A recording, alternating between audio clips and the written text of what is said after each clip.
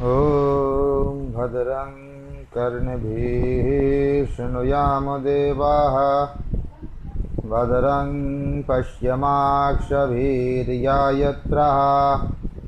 स्थिरैरङ्गैस्तष्टुवांसस्तनुभिः वशेमदेवहितं यदायुः।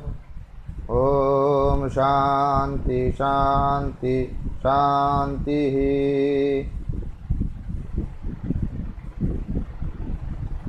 জন্মগত বর্ণাশ্রম ব্যবস্থাকে অস্বীকার করে তথাকথিত গুণগত বা বর্তমান জন্মের পেশার উপর নির্ভর করে বর্ণাশ্রম ব্যবস্থাকে প্রতিষ্ঠা করার জন্য যারা তৎপর তারা শাস্ত্রীয় কিছু উদ্ধৃতি ব্যবহার করে জন্মগত বর্ণাশ্রম ব্যবস্থার অসারতা প্রমাণের জন্য ব্যস্ত। ইদানিংকালে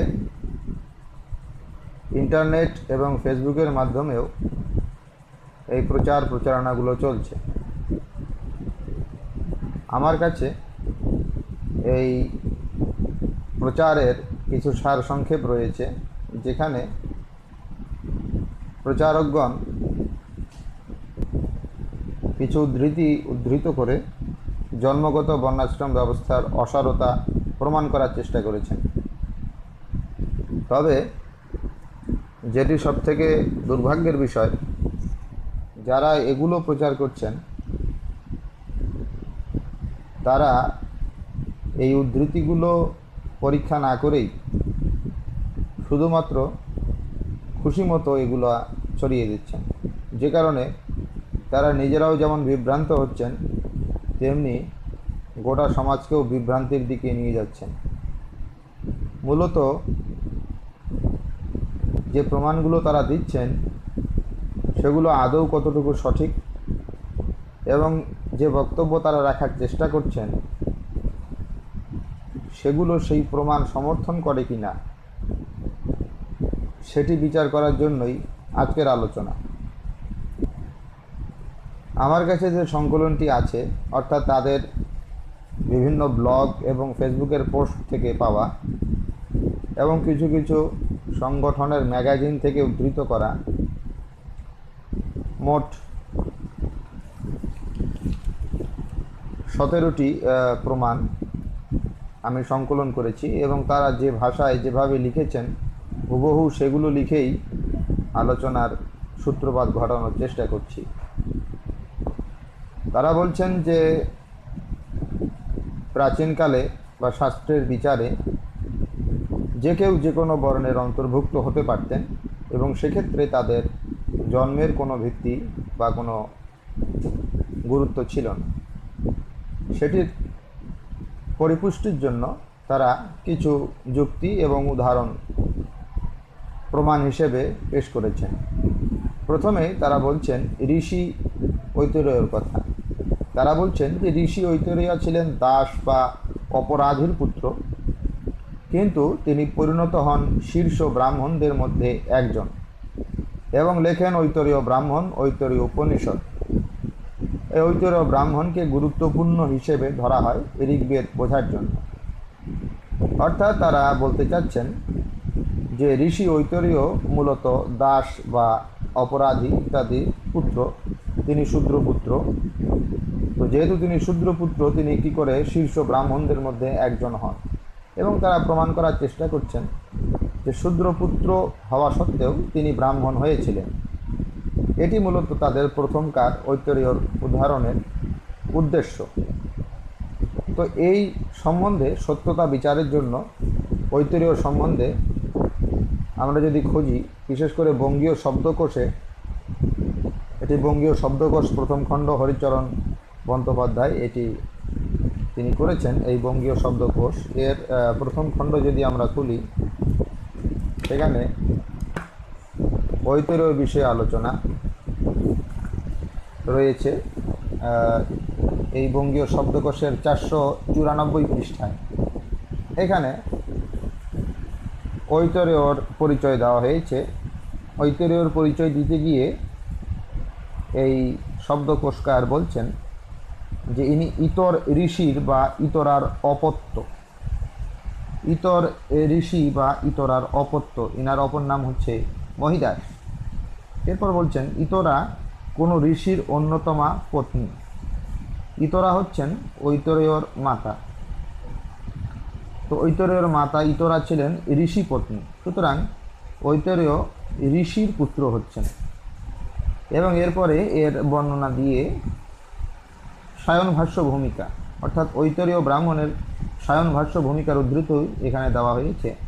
এবং এখানে এটি স্পষ্ট করে প্রমাণ করা হয়েছে যে ঐতরেয় ছিল ঋষিপুত্র। তিনি ঋষির ঔরসে জন্মগ্রহণ করেছিলেন এবং ঐতরীয়র মাতা ছিলেন ইতরা। তো শব্দ, বঙ্গীয় শব্দকোষের প্রথম খণ্ডেই এটি আমরা দেখতে পারলাম। যে জিনিসটি প্রথম দেওয়া হয়েছে, ঋষি ঐতরায় ছিলেন দাস বা অপরাধীর পুত্র, এটি সর্বৈব মিথ্যা কথা। তিনি মূলত ঋষি পুত্র ছিলেন, তার মাতার নাম ছিল ইতরা। যেহেতু তিনি ঋষি পুত্র ছিলেন, এ কারণেই তিনি বিখ্যাত একজন ঋষি হয়েছিলেন এবং শীর্ষ ব্রাহ্মণদের মধ্যে তিনি একজন ছিলেন, যেহেতু তিনি ব্রাহ্মণ কুলোদ্ভব। এরপর দ্বিতীয় তারা প্রমাণ দেখানোর চেষ্টা করছেন ঔলস ঋষির সম্বন্ধে এবং বলছেন যে ঋষি ঔলস জন্মেছিলেন দাসীর ঘরে এবং যিনি ছিলেন জুয়াখোর এবং নিচু চরিত্রের লোক। এরপরে ঋষি ঔলস সম্বন্ধে অনেক কথা রয়েছে এবং তিনি শ্রেষ্ঠ আচার্য রূপেও মনোনীত হয়েছিলেন, সে কথাও রয়েছে। এর প্রমাণ হিসেবে তারা ঐতরীয় ব্রাহ্মণের দ্বিতীয় পঞ্জিকার উনিশ নং অধ্যায়ের কথা বলেছেন। ঐতরীয় ব্রাহ্মণের দ্বিতীয় পঞ্জিকায় যদি আপনারা দেখেন, সেখানে প্রথম খণ্ডেই ঔলস ঋষির পরিচয় দেওয়া আছে।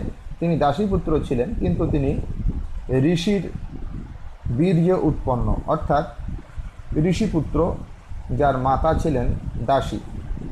তো ঋষিপুত্র হওয়ার কারণেই ঋষি ঔলস তিনি যজ্ঞাধিকার পেয়েছিলেন এবং ঋষিপুত্র হওয়ার দরুন তিনি ব্রহ্ম তেজ সম্পন্ন হয়েছিলেন। যেহেতু ঔলস ঋষি ব্রাহ্মণের পুত্র, সেহেতু ব্রাহ্মণের অপত্য হওয়ার কারণে তিনি একজন বিখ্যাত ঋষি হিসেবেও পরিচিত হয়েছিলেন। সুতরাং ঋষি ঔলস ঔলস মূলত ব্রাহ্মণ পুত্রই ছিলেন, কারণ তার পিতা একজন ব্রাহ্মণ ঋষি ছিল। এরপরে সত্যকাম সম্বন্ধে তা, তারা বলছেন যে সত্যকাম জাবাল ছিলেন পতিতার পুত্র এবং যিনি পরে একজন ব্রাহ্মণ হন।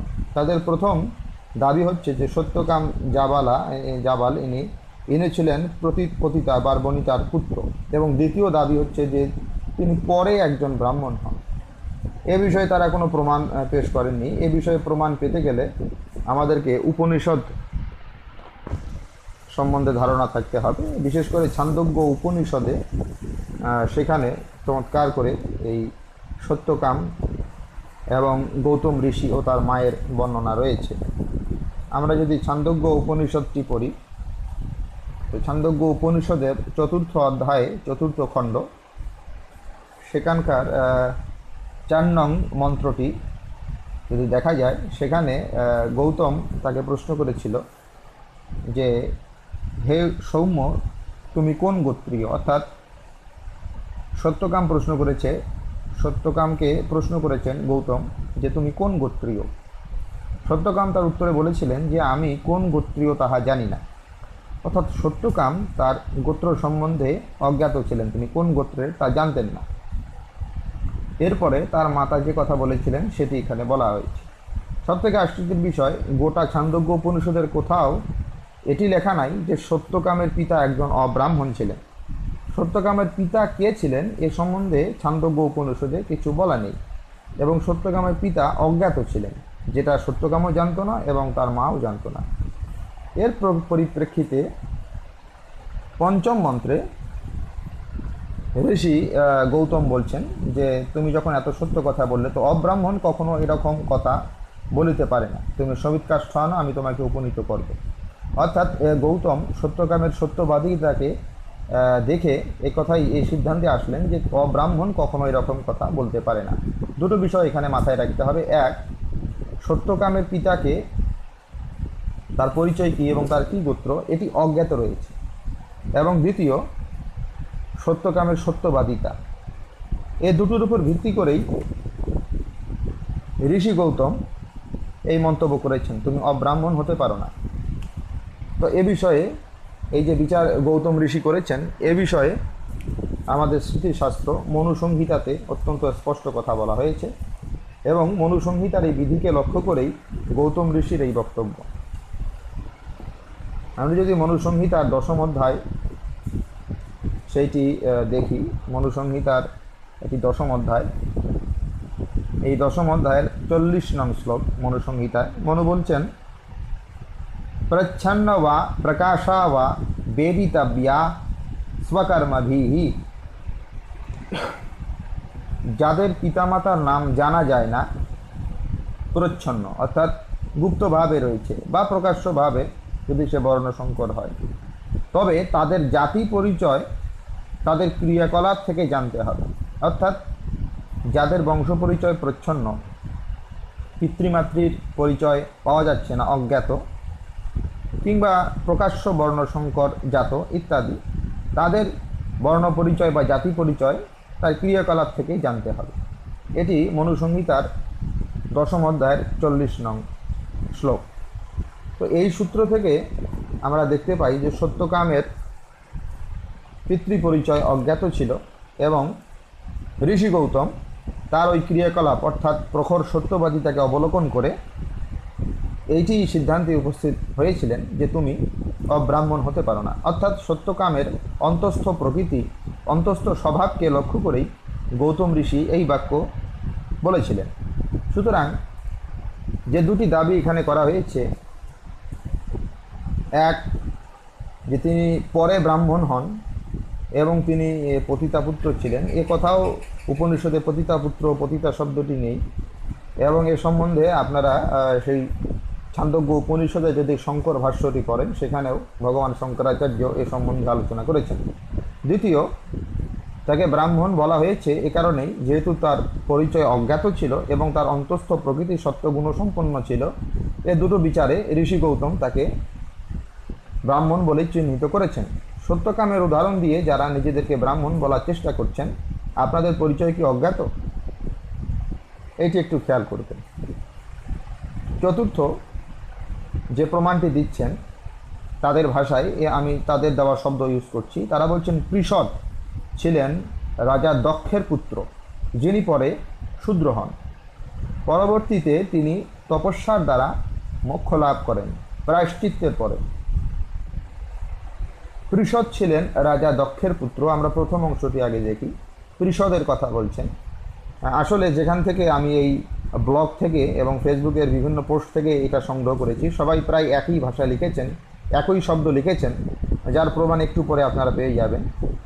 এটির কারণ, তারা সম্ভবত কোনো অব্রাহ্মণ বা অবাঙালির লিখিত কোনো পুস্তক বা কোনো লেখা থেকে তারা হুবহু এটি নকল করে নিজেদের নামে চালিয়ে দেওয়ার চেষ্টা করেছেন। তারা একবারও চেক করে দেখেননি তারা কি বলছেন এবং তারা কি প্রমাণ দিচ্ছেন।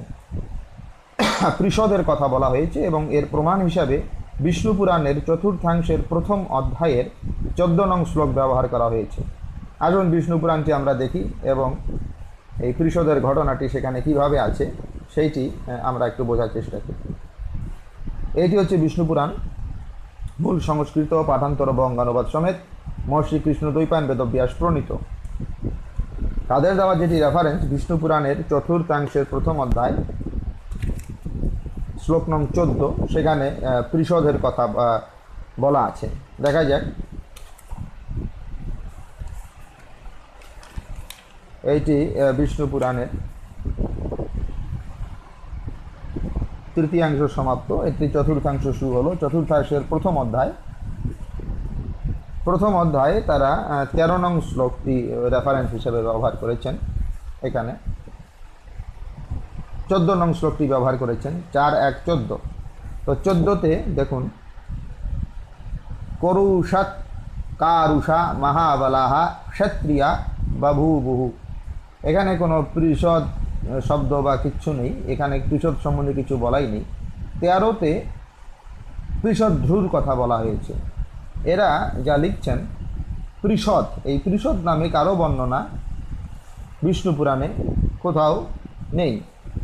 এখানে পৃষধ্রুর কথা বলা হয়েছে। এনারা সম্ভবত এই পৃষধ্রকেই পৃষদ নামে আখ্যায়িত করছেন। কারণ এনারা বোধহয় বিষ্ণু পুরাণ কোনোদিন খুলেও দেখেননি যে আসলে কি লেখা আছে বা কোথার থেকে এরা সংগ্রহ করছেন। সুতরাং ওরাও যেভাবে বানানটি লিখেছে, এনারাও সেটি হুবহু ছেড়ে দিয়েছেন। পৃষধ্রুর কথা বলা হয়েছে। এনারা বলছেন যে এই পৃষদ বা পৃষধ্রু ছিলেন রাজা দক্ষের পুত্র।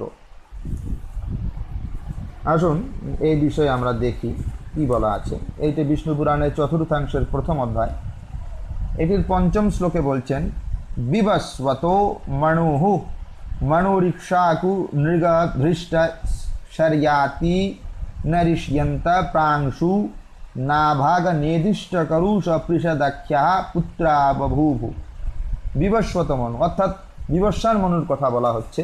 এর অনুবাদে এটি পরিষ্কার করে বলা হয়েছে যে সূর্যের পুত্র মনু, অর্থাৎ বিবস্বান মনু, যিনি ক্ষত্রিয়, সেই মনুর যে কয়জন পুত্র হয়, তাদের নাম ইক্ষাকু, নৃগ, ধৃষ্ট সজ্জাতি নরিষ্যন্ত প্রাংশু, নাভাগ নির্দিষ্ট করুষ ও পৃষদ্র সুতরাং যে পৃষদের কথা বা পৃষদ্রর কথা বলা হচ্ছে, ইনি মনুপুত্র, সূর্যপুত্র, অর্থাৎ বিবস্বান মনুর পুত্র হচ্ছেন পৃষদ্র সুতরাং প্রথম তাদের যে দাবি যে পৃষদ ছিলেন রাজা- দক্ষের পুত্র, এ কথাটি সম্পূর্ণ ভুল এবং মিথ্যা।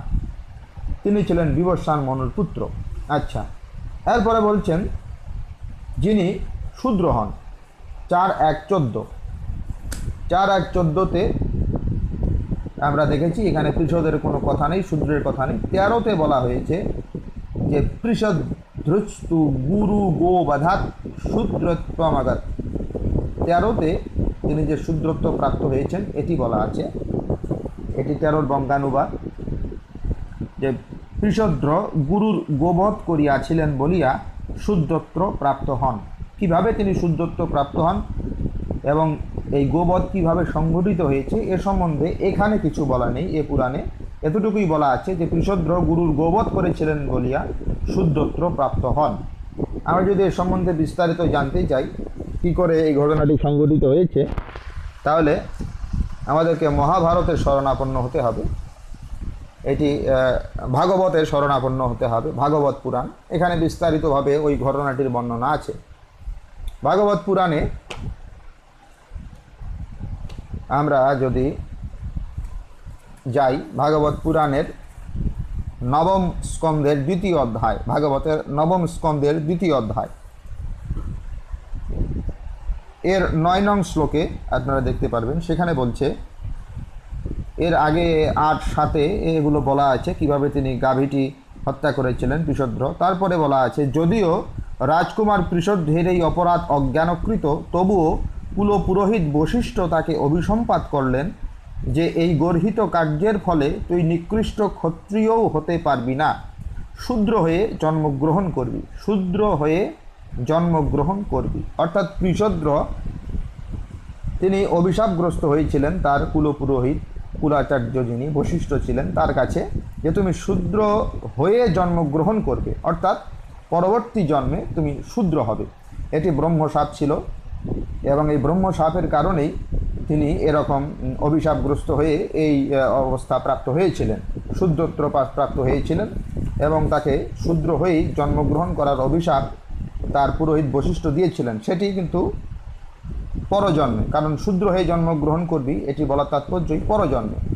এরপরে যেটি অভিযোগ করা হয়েছে সেখানে, পরবর্তীতে তিনি তপস্যার দ্বারা মোক্ষ লাভ করেন প্রায়শ্চিত্তের পরে। যদি তপস্যা শূদ্রদের জন্য নিষিদ্ধ হতো, যেমনভাবে উত্তর রামায়ণের নকল গল্প বলে, তাহলে পৃষদ কীভাবে তা করল? এখানে একটি অভিযোগ করা হয়েছে যেটি আমি জানি উত্তর রামায়ণ মানে রামায়ণের উত্তরখণ্ড আর কি। হয়তো সেটি বোঝানোর জন্য চেষ্টা করেছেন। সেখানে সম্ভুক শূদ্রের কথা আমরা পাই, যিনি তপস্যা করেছিলেন এবং তাকে রামচন্দ্র হত্যা করেছিলেন। এটি নকল গল্প বলেছেন। যাই হোক, এনাদের কাছে তো যা সত্য বলে মনে হয় তাই সত্য, বাকি সব নকল। এনাদের স্লোগান আপনারা ভালোই জানেন যে প্রথম এনারা বেদের ব্রাহ্মণ ভাগ মানেন না। এরপরে ব্রাহ্মণ মানেন তো সংহিতা মানেন, সংহিতার কিছু অংশ মানেন, কিছু অংশ মানেন না। এরকম এনাদের কখন কি মানেন, কোনটি নকল, কোনটি আসল? আসল মনুসংহিতা, নকল মনুসংহিতা, আসল গীতা, নকল গীতা, এরকম অনেক কিছুই এনাদের আছে। যাই হোক সেটি দেখার বিষয় নয়। এনাদের যেটি অভিযোগ যে যদি তপস্যা শূদ্রদের নিষেধ হতো, তাহলে পরিষদ কীভাবে করল তপস্যা? এটির উত্তর হচ্ছে, পরিষদ যেহেতু জাতিশূদ্র ছিলেন না, তিনি ক্ষত্রিয় ছিলেন, মনুপুত্র বিবস্বান মনুপুত্র এবং ক্ষত্রিয় পুত্র হওয়া সত্ত্বেই তিনি অভিসম্পাদগ্রস্ত হয়েছিলেন যে তুমি পরবর্তীতে অর্থাৎ শূদ্র হয়ে জন্ম নেবে। সুতরাং তিনি সে জন্মে শূদ্র হননি। সে জন্মে তিনি শূদ্র হননি, তিনি পরজন্মে শূদ্র হবেন এই অভিশাপ পেয়েছিলেন। এবং এ কারণেই তিনি তপস্যা করেছেন। পরব্রহ্মকে যদি প্রাপ্ত হন, এতে তাদের তার সেটির কোনো ব্যত্যয় হয় না। আরেকটি কথা যে এখানে পরব্রহ্মকে প্রাপ্ত হলে তাহলে তার গুরু অভিশাপের কি হয়ে, কি হবে? এটি একটি প্রশ্ন আসতে পারে। যে যদি যেহেতু বহিষ্ঠ অভিশাপাত করেছে, তুমি নিকৃষ্ট ক্ষত্রিয় হবে। এরপরে আমরা কিন্তু সেটি পাই যে তিনি পরব্রহ্ম পরমাত্মাকে প্রাপ্ত হলেন। তাহলে কি করে তার এই পরজন্মে সে শূদ্র কী করে হবে? এটি বলার যদি প্রশ্ন আসে, তাহলে এর উত্তরটিও আমরা এভাবে বলতে পারি যে আমরা জানি জয় বিজয়, যিনি ভগবানের নিত্য পার্শ্বদের মধ্যে ছিলেন তিনি ব্রাহ্মণ কর্তৃক অভিশাপগ্রস্ত হয়ে মর্তলোকে মনুষ্যলোকে জন্ম নিয়েছিলেন এবং প্রত্যেক জন্মেই ভগবানের হস্তে তিনি নিহত হয়েছিলেন। সাক্ষাৎ ভগবানের হস্তে নিহত হওয়া অর্থই তারা পরমাত্মাকেই প্রাপ্ত হয়েছিলেন। কিন্তু যেহেতু তাদের ব্রহ্মসাপ ছিল, সেহেতু তাদেরকে আর বারবার মানে আসতে জন্মগ্রহণ করতে হয়েছে। তাই কুলপুরোহিত বশিষ্ঠ যিনি ব্রহ্মর্ষি ছিলেন, তিনি যে ব্রহ্মসাপ দিয়েছেন, এটি ব্যর্থ হবার নয়। পরমাত্মাকে প্রাপ্ত হলেও তিনি পরবর্তীতে শূদ্র হয়ে জন্মগ্রহণ করেছেন। এটি এটির ভাগবতের তাৎপর্য। সুতরাং কৃষদের বিষয়ে আমরা একটি সমাধান আসতে পারি, যেটি হলো কৃষক ছিলেন রাজা দক্ষের পুত্র, এটি সম্পূর্ণ ভুল, তিনি বিবস্বান মনুর পুত্র, এবং তিনি শূদ্র হন এটি পরবর্তী জন্মে, সে জন্মে নয়। আর তপস্যার দ্বারা তিনি মোক্ষ লাভ করেন, তপস্যা করতেই পারেন, কারণ তিনি ত্রিবর্ণান্তর্গত ছিলেন। এতে কোনো ব্যত্যয় হয়নি। পাঁচ নম্বরে তারা নবক বলছেন দেখুন নবক বলছেন, এটি কিন্তু তাদেরই দেওয়া বানান, ওটা নাভাগ হবে, এই কপি পেস্টের আরেকটি লক্ষণ। যাই হোক, এখানে বলছেন, নবক ছিলেন রাজা নেদিস্থের পুত্র, এটাও একটি ভুল উচ্চারণ, ইংরেজি থেকে কিংবা হিন্দি থেকে বাংলা করতে গিয়ে এরকম হয়েছে। যাই হোক, ইনি বলছেন রাজা নেদিস্থের পুত্র, ইনি ইনি পরিণত হন বৈশ্যে, অর্থাৎ নবক্ষত্রিয় ছিলেন, যেহেতু রাজাপুত্র তিনি বৈশ্য কী করে হন? আবার তার অনেক পুত্র হয়ে যায় ক্ষত্রিয়। এর প্রমাণ হিসেবে তারা বিষ্ণু পুরাণের চতুর্থাংশের প্রথম অধ্যায়ের তেরো নং শ্লোক ব্যবহার করেছেন। এইটি বিষ্ণু পুরাণ। বিষ্ণু পুরাণের চতুর্থাংশের প্রথম অধ্যায়। এর তেরো নং শ্লোক। এখানে পৃষদ্ধর কথা বলা হয়েছে। এখানে কোনো নাভাগের কথা নেই। নাভাগের রেফারেন্সটি দেওয়া আছে। পনেরোতে। সুতরাং তারা তারা যে রেফারেন্সটি দিয়েছেন, সেটিও একটি ভুলভাল রেফারেন্স এটি পনেরো হবে, চার, এক, পনেরো। এখানে বলেছে নবক না এটা নাভাগ নাভাগ। ও নির্দিষ্ট পুত্রস্তু বৈশ্যতম আঘাত পনেরোর অনুবাদকার বলছেন যে, নির্দিষ্ট পুত্র নাভাগ বৈশ্যতা প্রাপ্ত হন। ইনি নির্দিষ্ট রাজার পুত্র, তিনি বৈশ্যতা প্রাপ্ত হন। কিন্তু নাভাগের বৈশ্যত্ব প্রাপ্তির পূর্বে ভলন্দন নামে পুত্র হয়। সুতরাং এনাদের যেটি অভিযোগ ছিলেন, যে এই নাভাগ তিনি বৈশ্য হয়ে যান, কিন্তু তার ছেলে আবার ক্ষত্রিয় কী করে হয়? এর উত্তর হচ্ছে যে তিনি বৈশ্যত্ব প্রাপ্তির পূর্বে তার ভলন্দন পুত্র হয়। সুতরাং এই পুত্র এবং তার পরবর্তী বংশধররা ক্ষত্রিয় হবেন, এতে কোনো সন্দেহ নাই। নাভাগ কী করে বৈশ্যতা প্রাপ্ত হন? এটি ভাগবতে এবং বিষ্ণু পুরাণে সংক্ষিপ্তভাবে আছে, এখানে সেই ঘটনাটি নাই, কি করে তিনি বৈশ্যত্ব প্রাপ্ত হন এবং কেন হন এবং আদতে আসলে কি কি ঘটেছিল, এটি বর্ণনা নাই। এটি জানতে চাইলে আমাদেরকে মার্কণ্ডেয় পুরাণ, এটি দেখতে হবে। এটি মার্কণ্ডেয় পুরাণ কৃষ্ণদ্বৈপায়ন বেদব্যাস প্রণীত। এই মার্কণ্ডেয় পুরাণের, আমরা যদি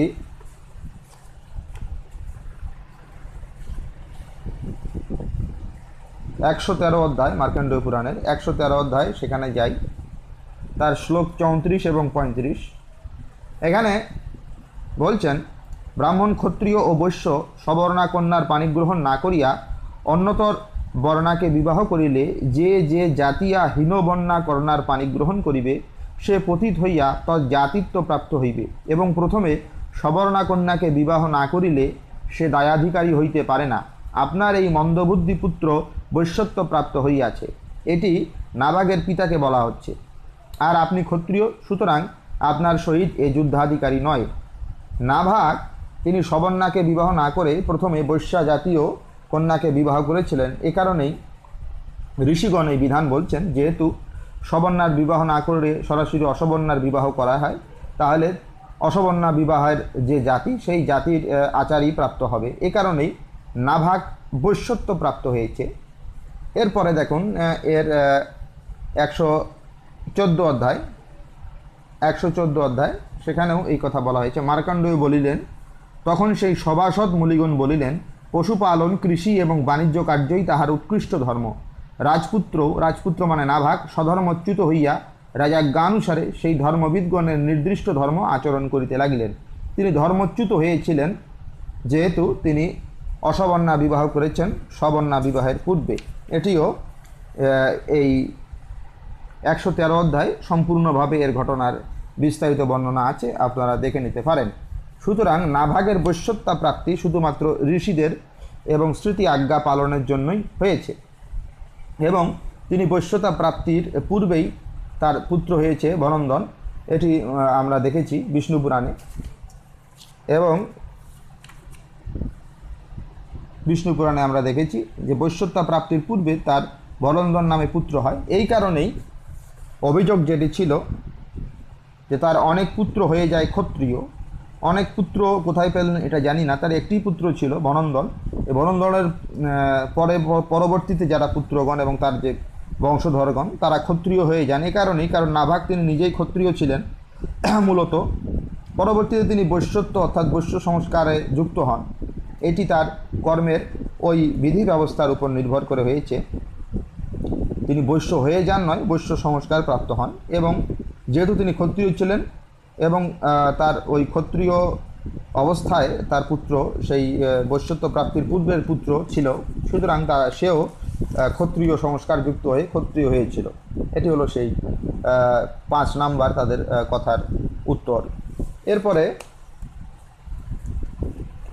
তারা ধৃষ্টর উদাহরণ দিতে যাচ্ছেন যে ধৃষ্ট ছিলেন নবগের, অর্থাৎ ওই নাভাগের কথা বলছেন, তার পুত্র, কিন্তু পরে ব্রাহ্মণ হন। অর্থাৎ ধৃষ্ট ছিলেন বৈশ্যের পুত্র, এরা বলছেন। বৈশ্যের পুত্র হওয়ার কারণে ধৃষ্ট বৈশ্য হওয়ার কথা, কিন্তু তিনি ব্রাহ্মণ হন। এরপরে তারা বলছেন, তার পুত্র হন ক্ষত্রিয়। মোটামুটি এখানে একটা ভালো তারা ছক দিয়েছেন এবং মানুষজনকে বিভ্রান্ত করার জন্যই এটি বোঝানোর চেষ্টা করছেন যে একই বংশে বৈশ্য পিতার ছেলে ব্রাহ্মণ, আবার ব্রাহ্মণের ছেলে ক্ষত্রিয়। এটাই বোঝানোর চেষ্টা করেছেন। এর প্রমাণ দিয়েছেন বিষ্ণু পুরাণ চার দুই দুই। আসুন দেখা যাক তাদের এই প্রমাণের সঙ্গে তাদের এই বক্তব্যের কতটুকু মিল রয়েছে এবং এখানে সার রয়েছে না অসার রয়েছে, আমরা একটু দেখানোর চেষ্টা করছি। বিষ্ণু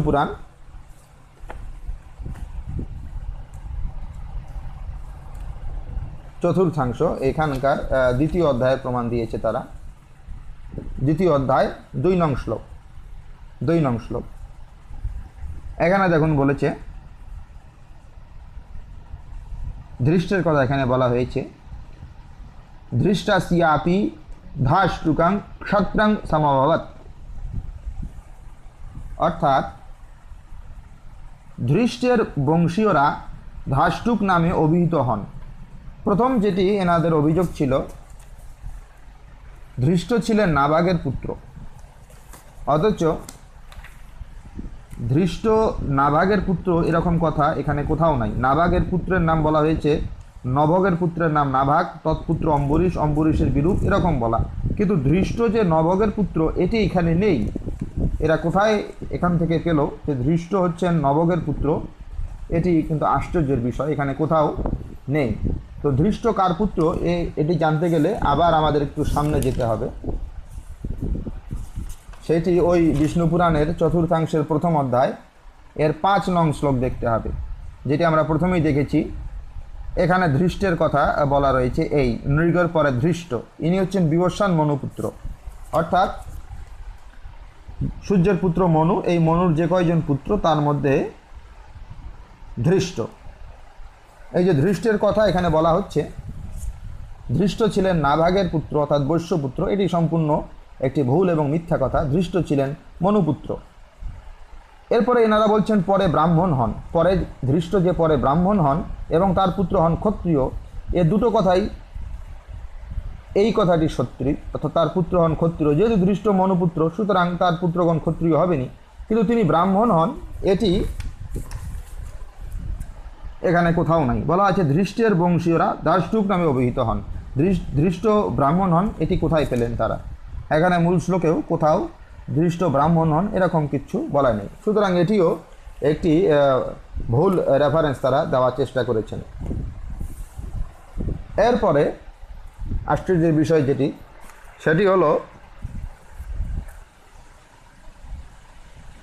ছয়ে বলছেন তারা, তার পরবর্তী প্রজন্মে কেউ কেউ ব্রাহ্মণ হয়।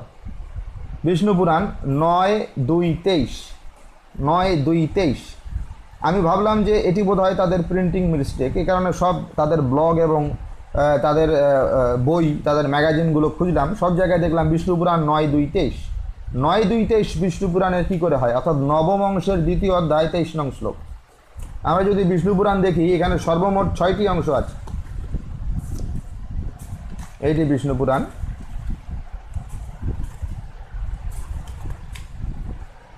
এই বিষ্ণু পুরাণের সূচিপত্র প্রথমাংশ এবং এটি শেষ হয়েছে ষষ্ঠাংশ দিয়ে। শেষ। ষষ্ঠাংশই শেষ।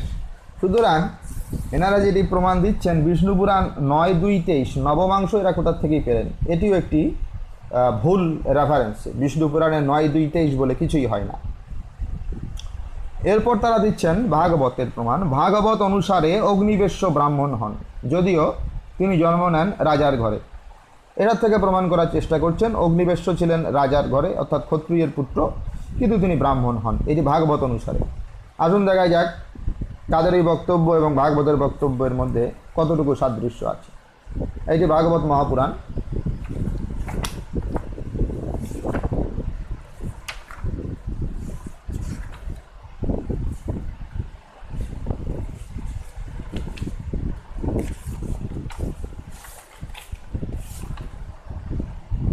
এই ভাগবত পুরাণের নবম স্কন্ধের দ্বিতীয় অধ্যায়, শ্লোক নং একুশ। এখানে বলা হচ্ছে, তত অগ্নিবেশীয় ভগবান অগ্নি স্বয়মভূত সুত কাণ্ডিনা ইতি বিখ্যাত জাতুকর্ণ মহান ঋষি। একুশ শ্লোকে বলছেন, দেবদত্তের পুত্রের নাম অগ্নিবেশ্য। অর্থাৎ দেবদত্ত হচ্ছেন মনুপুত্র নরিশন্ত, নরিশন্তর চিত্রসেন, চিত্রসেনের ঋক্ষ ঋক্ষের মীরবান, মীরবানের পুত্র কুচ্চ, কুচ্চের পুত্র ইন্দ্রসেন, ইন্দ্রসেনের পুত্র বিতিহত্র তার পুত্র সত্রস্রবা সত্রস্রবার পুত্র উরুশ্রবা উরুশ্রবার পুত্র হলো দেবদত্ত। এই দেবদত্তের পুত্র নাম অগ্নিবেশ্য। এনারা যেটি দিচ্ছেন অভিযোগ, সেটি হলো যে ভাগবত অনুযায়ী অগ্নিবেশ্য ব্রাহ্মণ হন। আসুন দেখা যাক ভাগবত অনুযায়ী অগ্নিবেশ্য কী হন। দেবদত্তের পুত্রের নাম অগ্নিবেশ্য, যিনি স্বয়ং অগ্নিদেব ছিলেন। পরবর্তীকালে এই অগ্নিবেশ্যই কানিন ও জাতুকরণ নামে বিখ্যাত ঋষি হয়েছিলেন। ঋষি, শ্লোকটি দেখুন, মহান ঋষি ঋষি হয়েছিলেন। এনারা বলছেন, ভাগবত অনুযায়ী অগ্নিবেশ্য ব্রাহ্মণ হন। অগ্নিবেশ্য ব্রাহ্মণ হন, এটি ভাগবত বলছেন না। ভাগবত বলছেন উনি ঋষি হন। ঋষি মাত্রেই যে ব্রাহ্মণ হবে, তার কোনো মানে নেই। কারণ ত্রিবর্ণের মধ্য থেকেই ঋষি হতে পারে। আমরা রাজর্ষি জনকের নাম সকলেই জানি। উনি রাজর্ষি ছিলেন, রাজা হয়েও ঋষি। জনক কি ব্রাহ্মণ ছিলেন? এবং ঋষি হওয়ার পরে তিনি কি ব্রাহ্মণ হয়ে গিয়েছেন? কোনো মতেই নয়। তিনি রাজর্ষি ছিলেন, রাজধর্ম পালন করতেন। মূলত ত্রিবর্ণের মধ্য থেকেই ঋষি হতে পারে। এছাড়াও অন্যান্য ভাগে ঋষি যে কেউ হতে পারে। কিন্তু সেখানে ঋষি মাত্রেই ব্রাহ্মণ হবেন তা সম্ভব নয়। অগ্নিবেশ্য ব্রাহ্মণ হন এটি ভুল দাবি, ভাগবত তা স্বীকার করছে না। ভাগবত বলছে অগ্নিবেশ্য ঋষি হন। এরপরে ভাগবতে এরপর একটি শ্লোক রয়েছে, বাইশ শ্লোক। এখান থেকে হয়তো কিছু বলতে পারেন অনেকেই হয়তো, কারণ এখানে অগ্নিবেশ্য থেকে অগ্নিবেশ্বয়ন প্রসিদ্ধ ব্রাহ্মণ গোত্র হয়েছে। যদি তিনি ব্রাহ্মণই না হন, তাহলে ব্রাহ্মণ গোত্র তার কাছ থেকে কি করে আসলো? এটি একটি কারণ হতে পারে বা এটি একটি তর্কের বিষয় হতে পারে। এর উত্তর হচ্ছে, অনেকেই ঋষির যারা শিষ্য থাকেন, শিষ্যরা গুরু গোত্র প্রাপ্ত হন যদি তাদের গোত্র বিনষ্ট হয়। সেই বিচারে অগ্নিবেশ্য যেহেতু ঋষি হয়েছিলেন, তাই তার শিষ্য পরম্পরার ব্রাহ্মণগণ অগ্নিবেশ্যায়ন ব্রাহ্মণ গোত্র লাভ করতে পারেন। কিংবা বিশ্বামিত্র যেমন সুনসেবকে পেয়েছিলেন, সেইভাবেও কোনোভাবে ব্রাহ্মণ গোত্র সম্ভূত বা ব্রাহ্মণ বংশীয় যারা ছিলেন তার শিষ্য, তাদের মধ্য থেকেই অগ্নিবেশ্যায়ন ব্রাহ্মণ কুল হয়েছে। কিন্তু অগ্নিবেশ্য ব্রাহ্মণ হয়েছেন এরকম কোনো প্রমাণ ভাগবতে নেই। এরপরে আমরা তাদের বিচারগুলো দেখতে পাই। সেখানে ঝয় তারা বলছেন, রাথোটে, রাথোটর জন্ম নেন ক্ষত্রিয় পরিবারে এবং পরে ব্রাহ্মণ হন বিষ্ণু পুরাণ ও ভাগবত অনুযায়ী। মূল কথা বিষ্ণু পুরাণ এবং ভাগবতে এই রাথোটর বলে কোনো রাজার নাম নেই। আপনারা চেক করতে পারেন, তাদের ব্লগ এবং ফেসবুক পোস্টে তারা রাথোটর লিখেছেন। এটি লেখার কারণ তারা ওই কপি পেস্ট করে যা পেয়েছেন তাই হুবহু দিয়েছেন ছাইপাস রাথোটর বলতে কেউ নাই, রথিতর শব্দ রয়েছে। আসুন দেখা যাক, বিষ্ণু পুরাণ এবং ভাগবতে এ কি বলা আছে, রথিতর জন্ম ক্ষত্রিয় হয়েছেন এবং পরে ব্রাহ্মণ হয়েছেন কিনা, এ সম্বন্ধে আমরা দেখি। প্রথম বিষ্ণু পুরাণ আমরা দেখতে পারি যে রথিতর ব্রাহ্মণ হয়েছেন কিনা।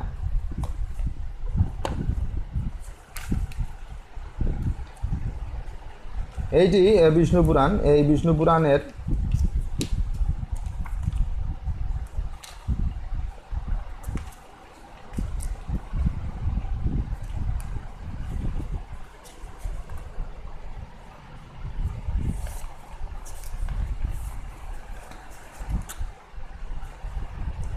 বিষ্ণু পুরাণের চতুর্থাংশের দ্বিতীয় অধ্যায় রথিতরের কথা বলা হয়েছে।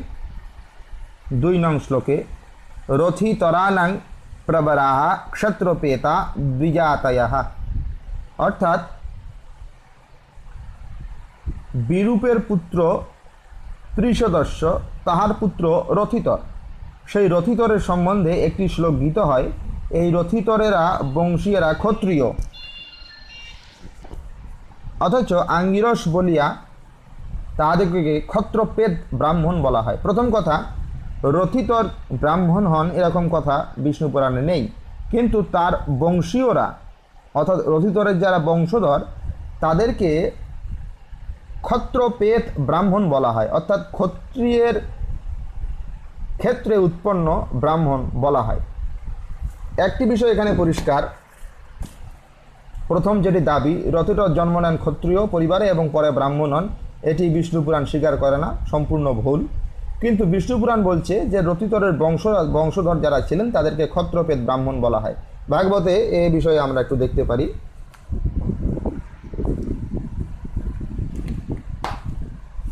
এইটি ভাগবতের নবম স্কন্দের ষষ্ঠ অধ্যায়, তার দ্বিতীয় শ্লোক। এখানে বলা হয়েছে, রতিতর নিঃসন্তান ছিলেন। বংশ পরম্পরা, প্রবাহ, চলমান রক্ষার উদ্দেশ্যে তিনি অঙ্গিরা ঋষির শরণাপন্ন হন। তার প্রার্থনায় অঙ্গিরা ঋষি রথিতরের পত্নীর গর্ভে ব্রহ্মতেজ যুক্ত কয়েকটি পুত্র উৎপাদন করেন। এ কারণেই এরা ক্ষেত্রপেদ, অর্থাৎ ব্রাহ্মণ ও ক্ষত্রিয়ার গর্ভজাত সন্তান ছিলেন। এটা রথিতরের পুত্র পরম্পরা বলা হচ্ছে। রথিতর যে ব্রাহ্মণ ছিলেন, এটা ভাগবত বলছে না বিষ্ণু পুরাণও বলছে না। রথিতরের বংশধররা ক্ষত্রপেদ ব্রাহ্মণ বলেছেন তাদেরকে এই কারণে যেহেতু অঙ্গিরা ঋষি রথিতরের পত্নীর গর্ভে এই পুত্রগুলো উৎপাদন করেছিলেন। সুতরাং এই দাবিও তাদের সম্পূর্ণভাবে ভিত্তিহীন যে রথিতর তিনি তিনি ক্ষত্রিয় ছিলেন এবং পরে তিনি ব্রাহ্মণ হন। এরপরে ইয়তে তারা বলছেন, হরিত ব্রাহ্মণ হন ক্ষত্রিয়ের ঘরে জন্ম নেওয়া সত্ত্বেও। এর প্রমাণ বিষ্ণু পুরাণ চার তিন পাঁচ, চতুর্থাংশ তৃতীয় অধ্যায় পঞ্চম শ্লোক। আসুন বিষ্ণু পুরাণ দেখি। এটি বিষ্ণু পুরাণের চতুর্থাংশ আমরা বের করি।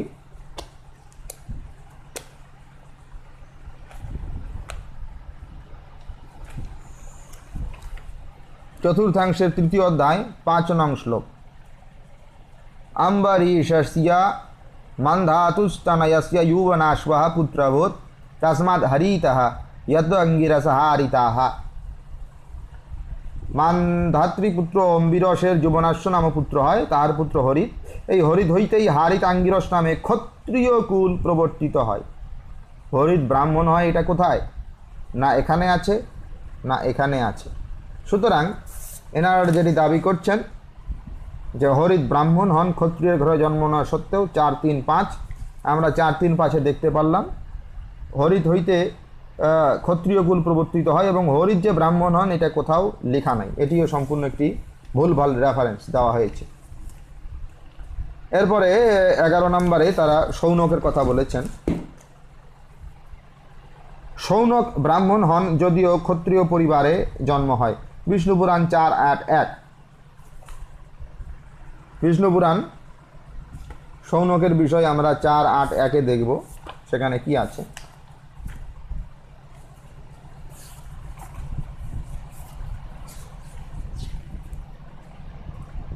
অষ্টম অধ্যায়, এক নং শ্লোক।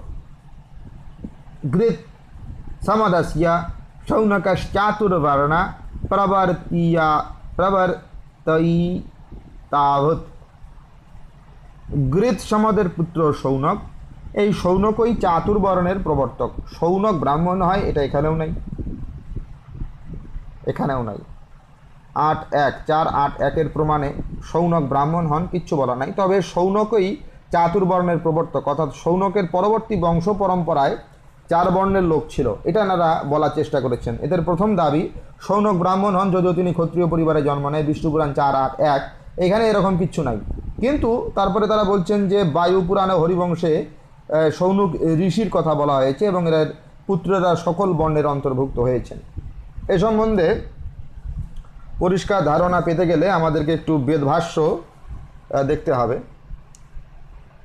সেইটি যদি আমরা দেখি তাহলে ঋগ্বেদ সংহিতা, এটি ঋগ্বেদ সংহিতার দ্বিতীয় মণ্ডল।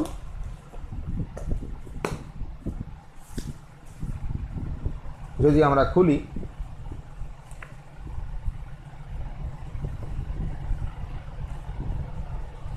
দ্বিতীয় মণ্ডল, এখানে গৃত সমদ ঋষির কথা বলা হয়েছে। গৃত সমদ ঋষি হচ্ছেন সৌনকের পিতা। গৃত সমদ ঋষি সম্বন্ধে এখানে টিকায় বলা হয়েছে গৃত সমদ বা তৎবংশীয়গণ, দ্বিতীয় মণ্ডলের সমস্ত সূক্তের ঋষি। প্রবাদ আছে, তিনি অঙ্গিরা বংশীয় সুনহত্রের পুত্র ছিলেন। অর্থাৎ গৃত সমদ তিনি অঙ্গিরা বংশীয় সুনহত্রের পুত্র ছিলেন। এর মানে যে কথাটি এখানে বলা হয়েছে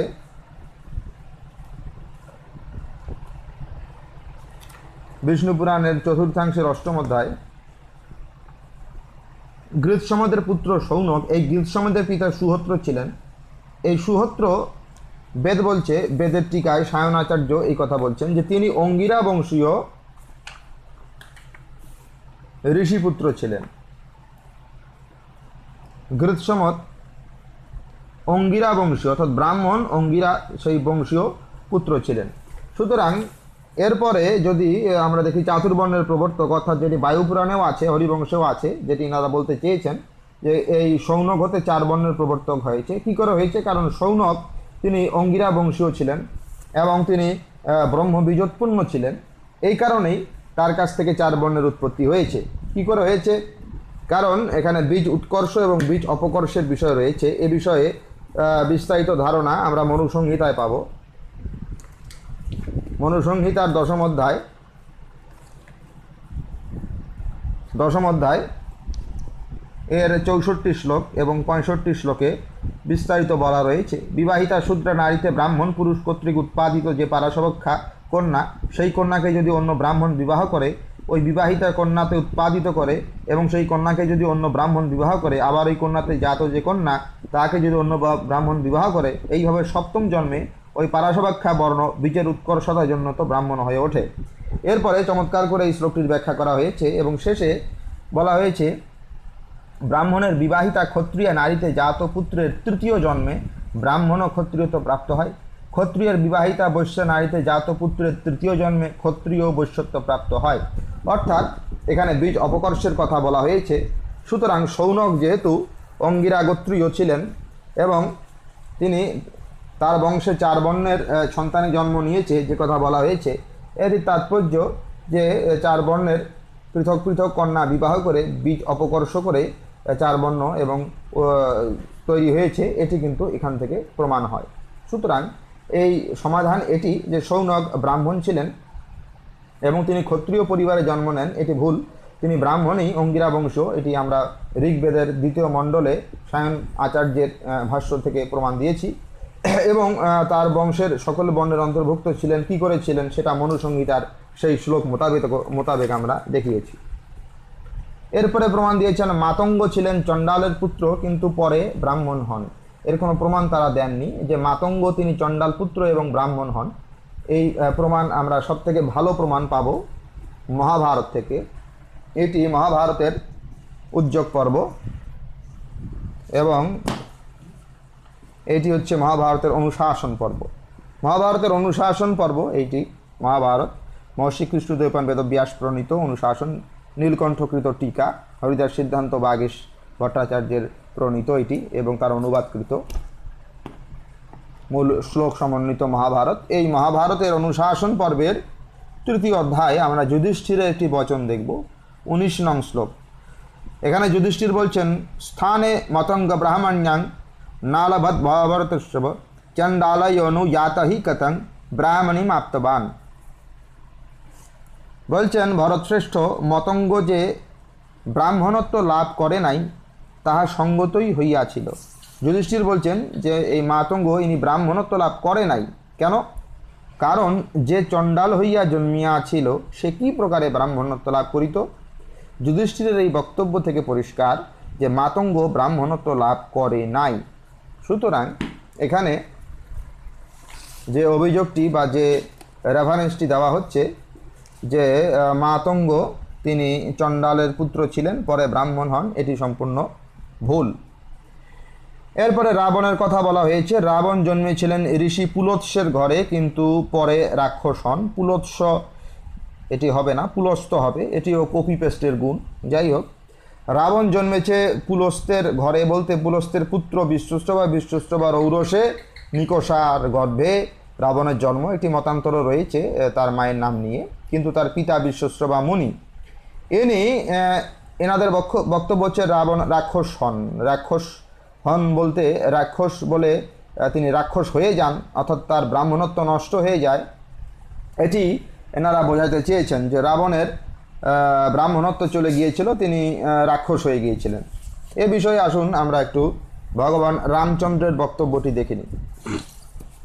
রাবণের বিষয়ে ভগবান রামের বক্তব্য, যে আসলেই রাবণ রাক্ষস ছিলেন নাকি ব্রাহ্মণ ছিলেন, এটি বোঝা যাবে। পদ্মপুরাণ।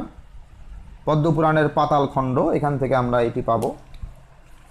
পদ্মপুরাণের পাতাল খণ্ড যদি আমরা খুলি, সেখানকার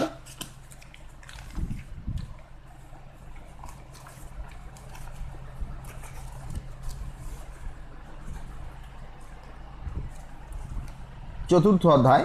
এখানে রাম এবং রাবণের ঘটনাগুলো রয়েছে। এই চতুর্থ অধ্যায়ের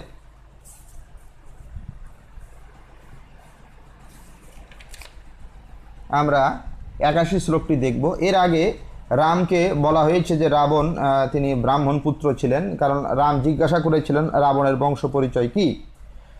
রাবণ ব্রাহ্মণ পুত্র জানার পরে রামের অবস্থা দেখুন। রাম বলছেন রামের অবস্থা বর্ণনা করে ঋষি বলছেন ইত্বাং নিশ্রাম্যা দিতিচন্দ্র কুলানুকারি বার্তাং মহাপুরুষ ঈশ্বর ঈশিতাচা সংরুদ্ধ বাষ্প গলদাশ্রমুখারবিন্দ ভূমৌ পপাত সদসি প্রথিত প্রভাব। ঐশ্বর্য সম্পন্ন বিখ্যাত প্রভাবশালী ঈশ্বর মহাপুরুষ রাম এই প্রকার রাবণ বার্তা শ্রবণ করিয়া ভূতলে পতিত হইলেন। তাহার বদনমণ্ডল দরদরিত বিগলিত অশ্রু প্রবাহে প্লাবিত হইয়া গেল। কেন হলো? রামের কথা দেখুন, শ্রীরাম উবাচ। রাম বলছেন ইক্ষা কুলাঙ্কুলে জাতু ব্রাহ্মণানো দুরুক্তিভাগ ইদৃশং কুর্বতা কর্ম ময়িতং সুকলঙ্কিতম। রাম বলছে যে ইক্ষাকু বংশে ব্রাহ্মণের সম্মান চিরদিন সমভাবে বর্তমান রহিয়াছে, কদাপি কোনো ব্রাহ্মণই কটুবাক্যে অভিহিত হয় নাই। আমি ঈদৃশ্য ব্রহ্ম হত্যা করিয়া, আমি ঈদৃশ্য ব্রহ্ম হত্যা করিয়া, সেই ইক্ষাকু বংশ ঘোর কলঙ্কিত করিয়াছি রাম বলছে, ওই রাম তো বলেন নাই, আমি রাক্ষস হত্যা করেছি। উনি বলছেন, আমি ব্রহ্ম হত্যা করেছি। আমি ব্রাহ্মণ পুত্র হত্যা করেছি। এবং এই হত্যার প্রায়শ্চিত্ত কি? এটি যখন জিজ্ঞাসা করেছেন রাম, তখন একশো এগারো এবং বারোতে দেখুন, ঋষি বলছেন, ইষ্ণু রাম মহাবীর লোকানুগ্রহ কারক বিপ্রহত্যাপনাদায় তব যদ বচনং ব্রবে। এরপর বলছেন, যে দেখো, তপনিধি অগস্ত তাকে বলিলেন, হে লোকানুগ্রহকারী মহাবীর রাম, যাতে ব্রহ্মহত্যা পাপের ক্ষয় হয় তাহা বলছি, শ্রবণ করো। এই বক্তব্য থেকে আমরা এটি পরিষ্কার রূপে বুঝতে পারি যে রাম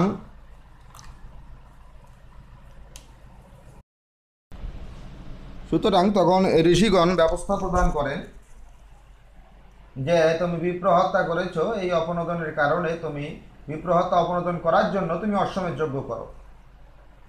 যাতে ব্রহ্মহত্যা পাপের ক্ষয় হয়, তাহা বলছি। সুতরাং ব্রহ্মহত্যা হয়েছিল, রাবণ যদি রাক্ষস হয়, তো তার ব্রহ্মহত্যা পাপ কেন হবে? এর থেকেই পরিষ্কার, ঋষিগণ এবং রামচন্দ্র উভয়ই রামচন্দ্র উভয়ই ব্রহ্মহত্যা পাপের বিষয়টি স্বীকার করেছেন এবং রাবণের ব্রাহ্মণত্বকেও স্বীকার করেছেন। সুতরাং যে বক্তব্যটি এখানে রাখা হচ্ছে, যে রাবণ জন্মেছিলেন ঋষি পুলস্তের ঘরে, কিন্তু রাক্ষস হন মূলত রাবণের ব্রাহ্মণত্ব বিনষ্ট হয়নি। এরপরে প্রবৃত্ত রাজা ছিলেন রঘুর পুত্র পরে রাক্ষস হন এবং ত্রিশঙ্কু রাজা ছিলেন তিনি পরে চণ্ডাল হন দুটো ঘটনা রয়েছে। এগুলো, এই দুটি ঘটনাই একই এ দুটি মূলত সেখানকার ব্রাহ্মণের অভিশাপের ফলে হয়েছে, আমরা জানি। নহুষ তিনি ব্রাহ্মণের আশীর্বাদে স্বদেহেই স্বর্গরাজ্য দখল করে সেখানকার রাজা হয়েছিলেন এবং ব্রাহ্মণের অভিশাপের কারণেই, অগস্ত্যের অভিশাপের কারণেই নহুষ তিনি অজগর সর্পে পরিণত হয়েছে। ব্রাহ্মণের অভিশাপ এবং আশীর্বাদের ফলে, অভিশাপের ফলে যদি একজন মানুষ অজগর হয়ে যায়, আর আশীর্বাদের ফলে যদি ত্রিশঙ্কু রাজার ঘটনা আমরা দেখব সেখানে, তিনি সশরীরে স্বর্গে প্রবেশ করতে পারেন। তাহলে এখানে প্রবৃদ্ধ তিনি কি করে রাক্ষস হলেন আর ত্রিশঙ্কু কি করে চণ্ডাল হলেন, এটি আশীর্বাদ না অভিশাপের কারণে হয়েছে, সেটি দেখলেই বোঝা যাবে যে অভিশাপের কারণে এটি হতে পারে, এটি অসম্ভব কিচ্ছু নয়। এর প্রমাণ ত্রিশঙ্কু রাজার ঘটনা, আমরা সুন্দরভাবে এখানকে অর্থাৎ ভাগবতে দেখতে পারব। ত্রিশঙ্কু রাজার বিষয় সেখানে বর্ণনা করা আছে।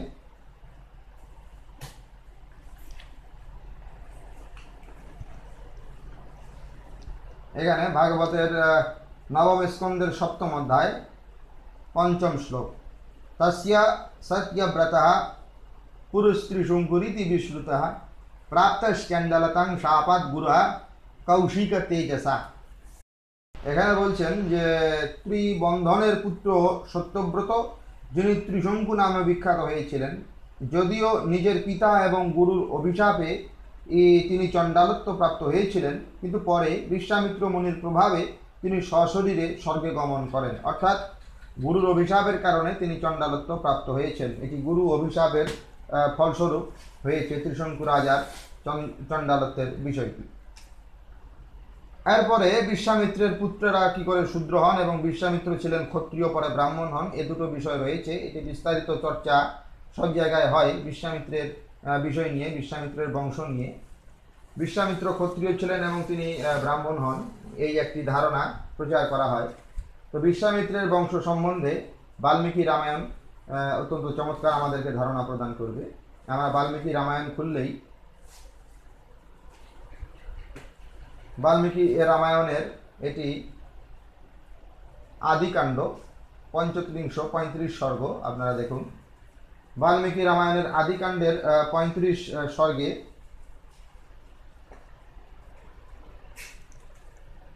এবং তার আগে মূলত পঁয়ত্রিশ হবে না। এটি বাল্মীকি রামায়ণের দাতৃংশ অর্থাৎ বত্রিশ স্বর্গে এখানে চমৎকার করে।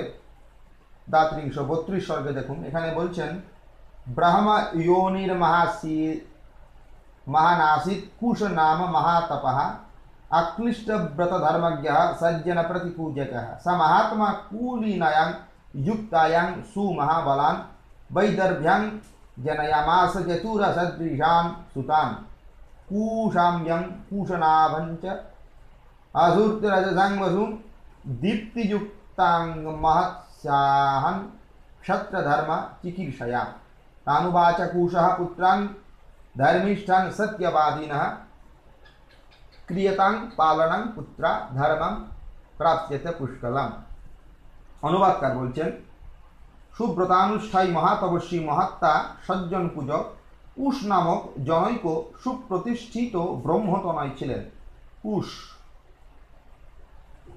ব্রাহ্মায়নির মহাসীনাথ অর্থাৎ তিনি কুশ নামে এক ব্যক্তি ছিলেন যিনি ব্রহ্মতনয় ব্রহ্মার পুত্র কুশ ব্রহ্মার পুত্র ব্রাহ্মণ কুশ ছিলেন এই কুশ তিনি সদৃশী কুলিনা পত্নী বৈদর্বীতে কুশাম্ব কুশনাথ অসুত্য রজস ও বসু নামক আত্মতুল্য মহাবল সম্পন্ন চারিটি পুত্র উৎপাদন করেন। অর্থাৎ কুশের যিনি ব্রাহ্মণ ছিলেন, তিনি তার স্ত্রীতে চার পুত্র উৎপাদন করেন। এই কুশের পুত্র ছিলেন কুশনাথ এই কুশনাথ কুশ তার পুত্রদের বলেন, তোমরা প্রজা পালন করো, তাহাদের তাহাতে তোমার বিপুল ধর্ম হইবে। এখানে বলছেন যে সেই দীপ্তিশালী সত্যবাদী মহৎসাহ সম্পন্ন ধার্মিক পুত্র দিগকে ক্ষাত্র ধর্মে বৃদ্ধিকরণ বিলাসে তিনি বলেছিলেন। অর্থাৎ ক্ষত্রিয়দের ধর্মের বৃদ্ধির জন্য যদিও কুশ ব্রহ্মাপুত্র ছিলেন ব্রাহ্মণ ছিলেন তারপরও ব্রহ্ম আহ, পুত্র হওয়া সত্ত্বেও তার পুত্রদের তিনি ক্ষত্রিয় ধর্ম অবলম্বন করার জন্য আদেশ করেছিলেন। মূলত কুশ ব্রাহ্মণ ছিলেন এবং এই কুশের এই কুশের পুত্র কুশনাভ ছিলেন। এবং তারপর এই কুশনাভের, দেখুন, কুশনাভের গাধী নামে পরম ধার্মিক পুত্র হলো। কীভাবে হলো? সেটি কিন্তু পুত্রেষ্টি যাগের মাধ্যমে হয়েছে। পুত্রেষ্টি যাগের মাধ্যমে কুশনাভের গাধী নামক পুত্র জন্মে এবং সেই গাধী হচ্ছে আমার জনক মানে বিশ্বামিত্র বলছেন। আমি কুশ বংশের জন্য আছি বলি কৌশিক নামে বিখ্যাত। সুতরাং বিশ্বামিত্রের বংশ পরিচয় যদি আমরা দেখি এটি বাল্মীকি রামায়ণের আদিকাণ্ডের বত্রিশ স্বর্গে, সেটিতে আমরা বুঝতে পারব বত্রিশ স্বর্গে যে বিশ্বামিত্র মূলত তার পিতৃপুরুষ কিন্তু ব্রাহ্মণ ছিলেন এবং পিতৃপুরুষ ব্রাহ্মণ হওয়ার কারণে তিনি ব্রহ্মবীজ সম্পন্ন ছিলেন। এ কারণেই ব্রহ্মবীজ সম্পন্ন হওয়ায় তিনিও ব্রহ্ম ক্ষত্রিয় সংস্পৃষ্ট ছিলেন, ক্ষাত্রপেদ ব্রাহ্মণ যাকে বলা হয়। এবং এই হেতু বিশ্বামিত্র তব প্রভাবে তিনি ব্রাহ্মণত্ব অর্জন করেছিলেন। তাই বিশ্বামিত্র ছিলেন ক্ষত্রিয়, এটি সম্পূর্ণ ভুল। তিনি ক্ষত্রিয় ছিলেন, এটি বাল্মীকি রামায়ণ বলছে না, বাল্মীকি রামায়ণ বলছে তার পিতৃপুরুষগণ ব্রাহ্মণ ছিলেন এবং মাতৃপুরুষ মাতৃপক্ষ ক্ষত্রিয় ছিল, কিন্তু তিনি ব্রহ্ম বীজ সম্পন্ন ছিলেন। এছাড়াও বিশ্বামিত্রের জন্মের ব্যাপারে, যেটি আমরা সবাই জানি, ঋষির কৃত চরু ভক্ষণ করেই তার মাতা গর্ভবতী হয়েছিলেন। সেখানেও একটি বিষয় রয়েছে। সুতরাং আজকাল যারা বিশ্বামিত্র হওয়ার চেষ্টা করছেন, আপনাদের বিভিন্ন কন্ডিশন রয়েছে। এক, আপনারা বৈশিষ্ট্য জোগাড় করুন দ্বিতীয় ব্রাহ্মণের কৃত এরকম ব্যবস্থা গ্রহণ করুন। তা না করে বিশ্বামিত্র হওয়ার স্বপ্ন যারা দেখছেন তাদেরকে এই রামায়ণ এবং বিশ্বামিত্রের জন্ম কাহিনীগুলো পড়ার অনুরোধ করছি। এই বিশ্বামিত্রের পুত্রেরা শূদ্র কি করে হয়? এর প্রমাণ আমরা ভাগবতে পাব।